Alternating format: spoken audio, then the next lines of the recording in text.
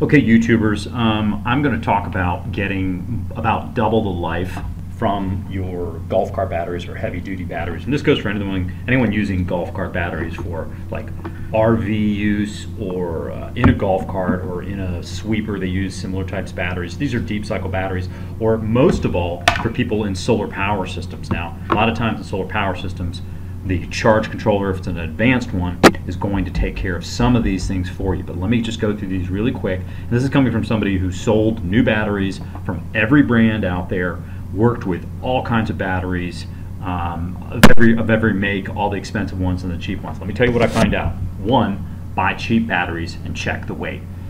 Um, the weight is, the, is one of the big determinants of the quality of the battery. More lead, there's uh, more lead to last longer. Now, there is some things that, there are some things that the battery manufacturers can do, like decreasing the antimony or reducing the stiffness of the plates. Um, U.S. battery and some other ones do some more advanced work with plates, but by and large, buy the cheapest battery you can find. Do not waste your money on Trojans that are going to cost you. I mean, when I was selling them, they were 125, and, and I could sell batteries for $89 that did as well or better than the 125 batteries. Multiply those that 125 to 80, let's call it $90 difference. So that's $35 times six. That's basically $200 difference. You're not getting anything extra. Um, so buy cheap batteries and check the weight, and you'll know you'll, you'll, be getting a decent battery. In fact, I found a lot of problems with Trojan batteries. They did not do very well um, in terms of longevity. So the other thing is you want to equalize your batteries every two to three months at a minimum. Now, automatic charge controllers sometimes will do this. On a solar power system, more often than not, they say they will, but you have to double check. Equalizing means you're hitting the batteries with uh, a much higher charge than normal. So let's say you're on a typical golf cart battery and a battery setup that may be 36 volts for golf cart batteries. Solar power systems are 12, 24, 48 volts. Your equalizing charge, as opposed to, let's say, a 36 volt battery system, um, when it comes off a charger, could be uh, 39 volts because um, it's nominally 36. It's really each each battery instead of being let's call it 6.1 at a low state might be 6.6 or 6.7 so you're going to be in the neighborhood of 40 volts when you come off a charger maybe even a little higher.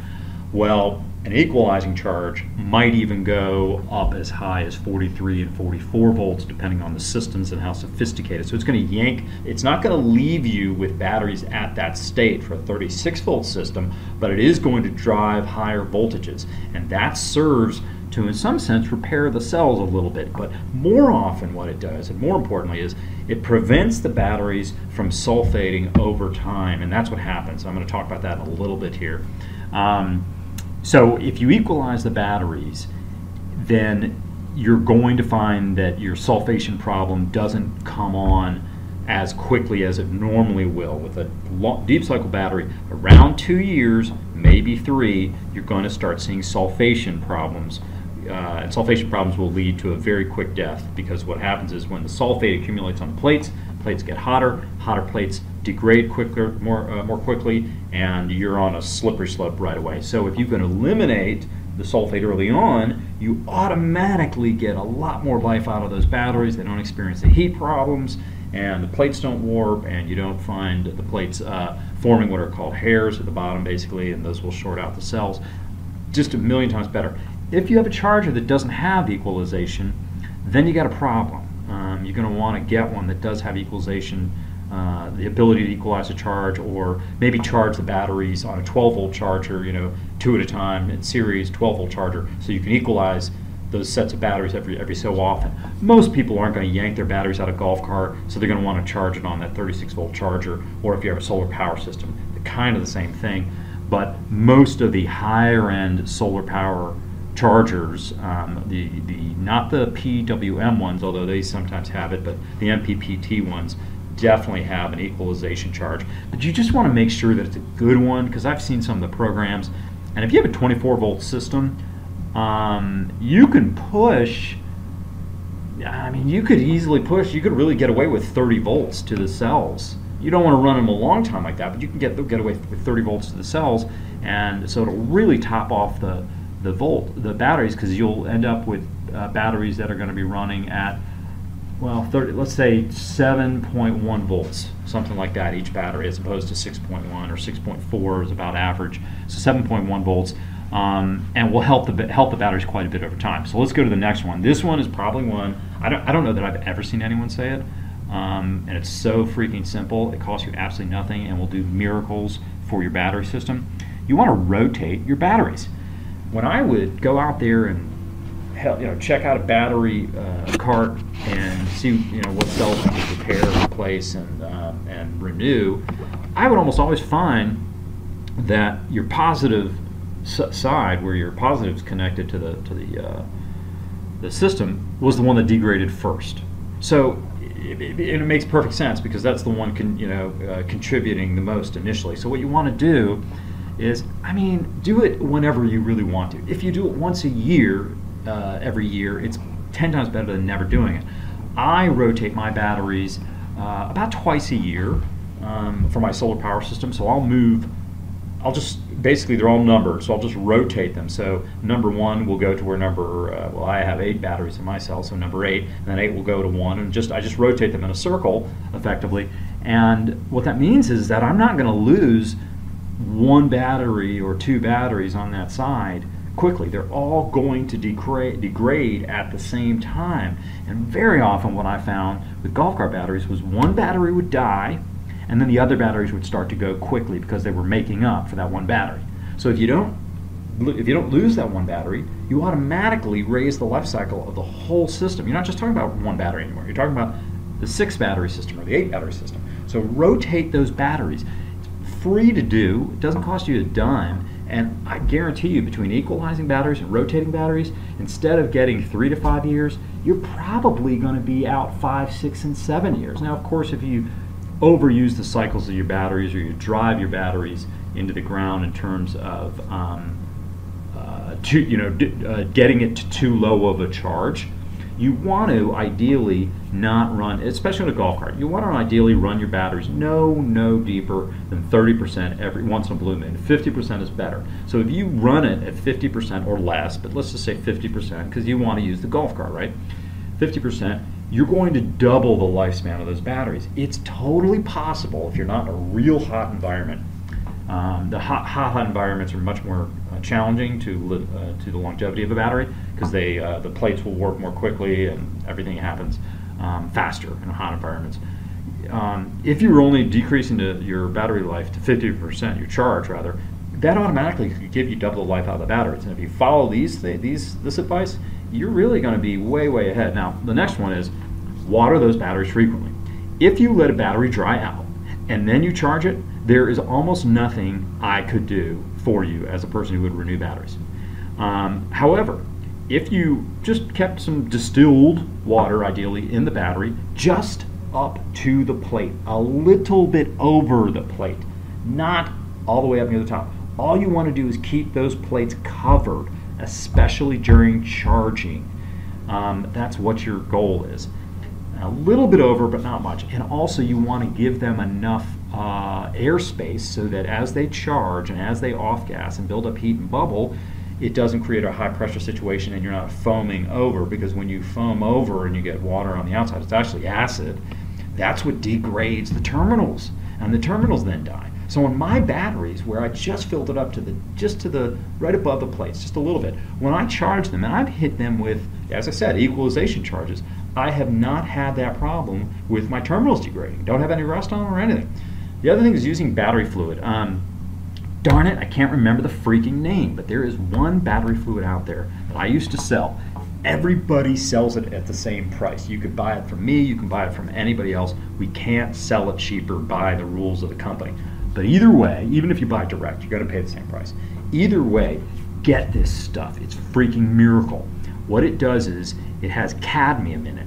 I tried to make this formula myself because I wanted to make it cheaper. I thought the company was ripping me off. Turns out they're not. Um, the cadmium is really expensive, but what it does is you put it in the batteries. Um, a little, I, I, put in half of what they recommended, and then I just shook, shook them up, shook the batteries up a little bit. But half of what they recommended. And what you do is, when you charge these batteries, it will go into the plate on the charges, and you discharge. And effectively, you are rebuilding the strength of the plate with the cadmium in there. So the plates become stiffer and more and uh, tougher, and they will last a boatload longer. Not only that, there are chemicals in there that prevent the sulfation from occurring and will desulfate a battery over a couple of charges. It's super serious stuff.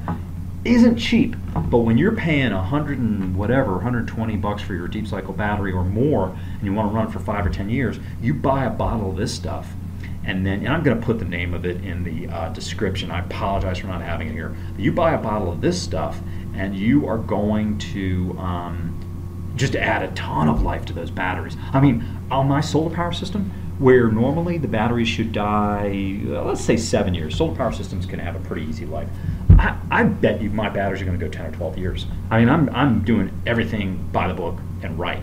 Um, I've even had some really bad discharge cycles, but I checked the plates and checked everything, and the batteries are rock freaking solid. Once again, I bought the cheapest batteries I could get. In this case, they are uh, Duracell batteries, who may be made by, uh, actually, I think Duracell is made by uh, Deka. Deka makes a great battery. Um, they may be made by Johnson Controls, or there's another company out there that makes a really good battery out of Ohio. But if you buy, if you can buy from Sam's Club, very, very good batteries, or Costco, very good batteries. So let's go over that from the top. Don't shop price on batteries. Just get the cheapest batteries, check the weight. If they're super light, then you're going to have some issues. More batteries die from uh, people not taking care of them than from the fact that it was, quote, a cheap battery. So don't worry so much about the the, uh, the uh, price of the battery. Get the cheapest one you can. That off the right off the bat should save you, as I said, about $200 for six batteries. Equalize those batteries every two to three months at a minimum. If your charger doesn't have an equalizing mode, then either break down the batteries or just rewire a little bit and use a 12 volt charger that does have an equalizing battery or get another charger. Now those chargers for golf cart batteries are pretty pricey, so you know you just have to decide whether it's worth it. But definitely equalize those batteries every so often, and that will keep that sulfation away.